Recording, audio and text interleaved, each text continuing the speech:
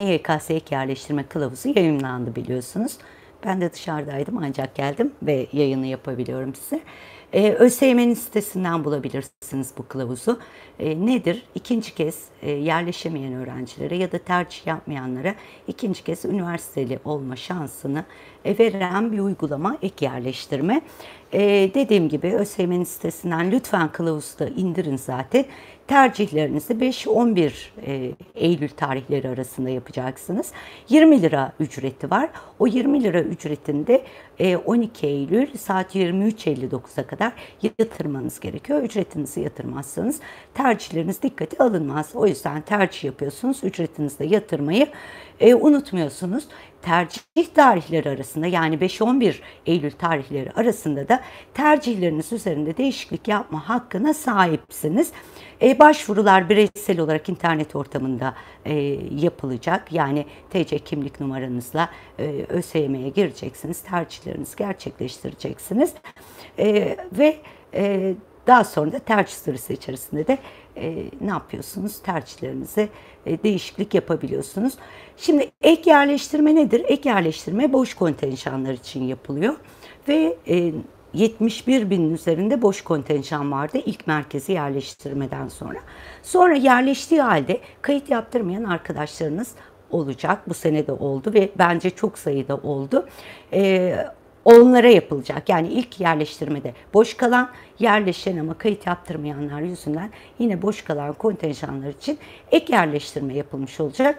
ÖSYM'de YÖK'te yine böyle bir sır gibi saklıyor kaç boş kontenjan kaldığını yüksek olduğu zaman saklarlar merak etmeyin.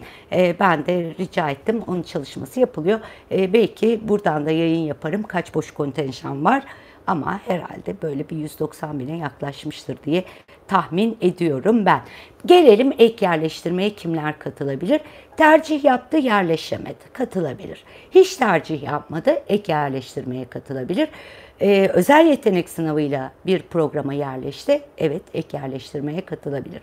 Kim katılamaz? İlk merkezi yerleştirmede bir yüksek öğretim kurumuna yerleştiyseniz ek e, yerleştirmeye katılma hakkınız yok. Kayıt yaptırmasanız bile katılamazsınız. 24 tane tercih hakkınız var. Ama bunun tümünü doldurmak zorunda değilsiniz. Unutmayın lütfen. E, istemediğiniz programları yazmayın. Size uygun olmayan, yerleştiğinizde e, tercih yap, e, kayıt yaptırmayacağınız programları aman bu 24 tercih var. Hepsini de doldurayım arzusuna kapılmayın. Doldurmak zorunda değilsiniz. Gerçekten okumak istediğiniz, yerleştiğinizde gideceğiniz programları tercih listenize alın. Çünkü kayıt yaptırmasanız bile o ÖSYM'nin sitesinde yerleştiniz diye görülecek ve gelecek yıl sınava girdiğinizde de ne olacak? Orta öğretim başarı puanınız da yarıya düşmüş olacak. Bunu istemezsiniz. Hem istemediğiniz programa yerleşeceksiniz hem kayıt yaptırmayacaksınız. Bir de puanınız düşecek. O yüzden e, istemediğiniz hiçbir programı almıyorsunuz. Ah tüm kurallar yani ilk merkezi yerleştirmede hangi kurallar geçerliyse bunda da aynı kurallar geçerli. Arkadaşlarınız çok soruyor başarı sırası e, barajlar geçerli mi diye. Evet geçerli. E boş kaldı geçerli değil artık daha düşük e, yazabilir mi diyor. Hayır yazamaz. E, nasıl ilk yerleştirmede işte biliyorsunuz tıpta, hukukta, mühendislikte, mimarlıkta, PDR dahil öğretmenlik programlarında başarı sırası barajı var. Yani bu başarı sırasını tutturamayan öğrencilerin e, tercih yapma hakları bu programları bulunmuyor. Dolayısıyla bu kural ek yerleştirme için değişmiş değil. Ek yerleştirmede de başarı sırası barajları e, geçerli. Boş kalsa da o kontenjanlar. Ek yerleştirmede en çok dikkat etmeniz gereken nokta şu. En küçük puanı oluşmuş bölüm. Nedir bu? Burada çok karıştırıyor. Ee, daha önceki yıllarda da arkadaşlarımız karıştırıyordu. Sizden de bu konuda e, e, soru geliyor. Şimdi merkezi yerleştirmede yani ilk yerleştirmede sonuçları açıklanan yerleştirmede biliyorsunuz ki belli bölümler, belli programlar doldu. Ve bu programlar şimdi ek yerleştirmede bazıları boş. Ama niye boş kaldı bunlar? Bu programa aslında bir öğrenciler yerleşti doldu ama kayıt yaptırmadıkları için boş kaldı. İşte biz buna ne diyoruz? En küçük puanı oluşmuş e, bölüm diyoruz. Yani bazı bölümlerin artık en küçük puanları oluştu.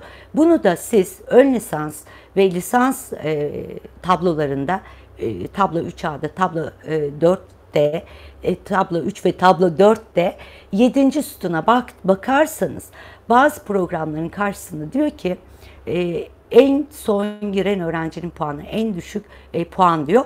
Bu e, ne anlama geliyor? Eğer seçtiğiniz programın karşısında e, bir e, puan yazıyorsa sizin puanınız buna eşit değilse ve ya da yüksek değilse e, bu programı tercih edemezsiniz. Yani puan yazan programların karşısında puanı düşük olan adaylar, ilgili puanda söz ediyorum, TYT'de, sayısalda, eşit ağırlıkta ya da sözde ya da dilde eğer bir puan yazıyorsa seçtiğiniz programın karşısında artık bu program dolmuş ama boş e, kayıt yaptırmayanlar yüzünden boş kalmış.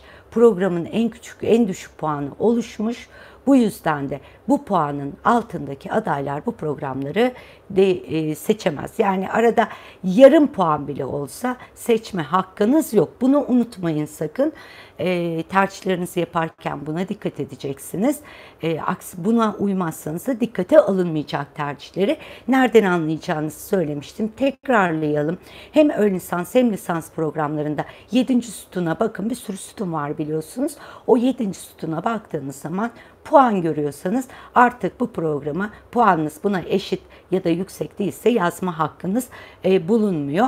Ama bir işaret yoksa, bir puan yoksa bunun anlamı ne demek? E, bu merkezi yerleştirmede dolmamış kontenjanlardır.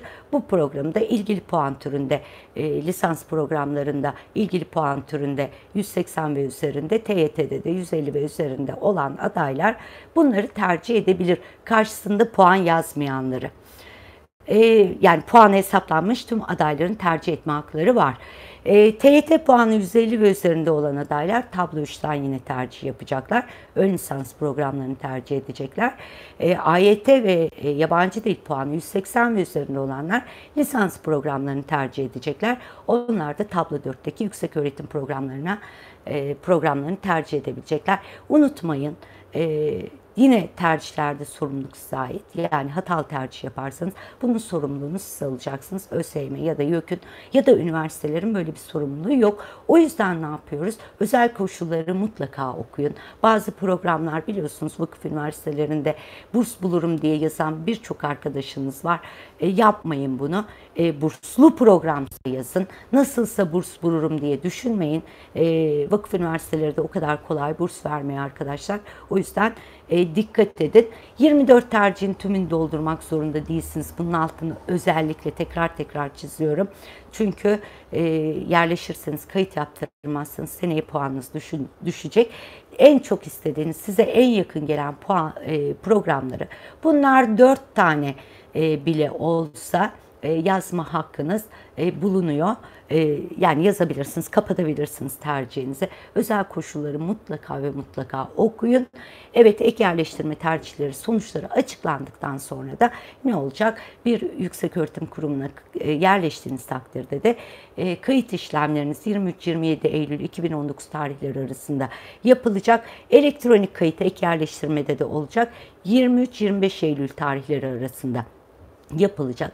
Kayıt yaptırmayanlar da haklarını kaybetmiş olacak. Tekrar birlikte olacağız sizlerle. Şimdilik hoşçakalın. Kılavuzla ilgili genel bilgileri vermek istemiştim ben size. Lütfen kılavuzu internetin, e, ÖSYM'nin internet sitesinden indirin. Tercihlerinizde de e, buna dikkat edin. Bunları işte yayında da yaptım uyarıları lütfen dikkate alın. E, kılavuzda da benzer uyarılar, aynı uyarılar var aslında. Onları da dikkate alın. Hatalı tercih yapmayın.